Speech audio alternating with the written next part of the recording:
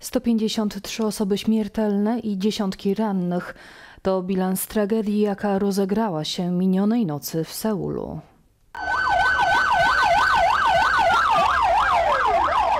Jeden wielki krzyk, panika, rozpacz i martwe ciała na ulicy. Tak bolesnych konsekwencji halloweenowej zabawy w Korei Południowej chyba nikt się nie spodziewał. Minionej nocy w stromej, wąskiej uliczce w Seulu, gdzie bawiły się tysiące ludzi, wybuchła panika. Ludzie zaczęli się nawzajem tratować. Wielu z nich straciło życie.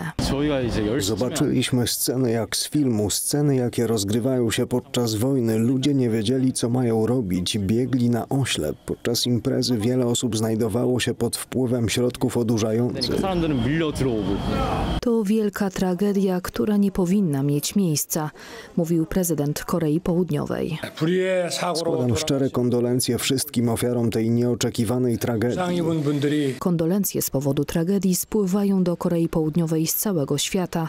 Wyraziły je także polskie władze. Koreę dotknęła niewyobrażalna tragedia. W tych momentach łączę się w modlitwie z jej narodem. Niech dobry Bóg ma w opiece wszystkie ofiary i ich najbliższych. Od dziś do przyszłej soboty w Korei Południowej będzie trwała żałoba narodowa.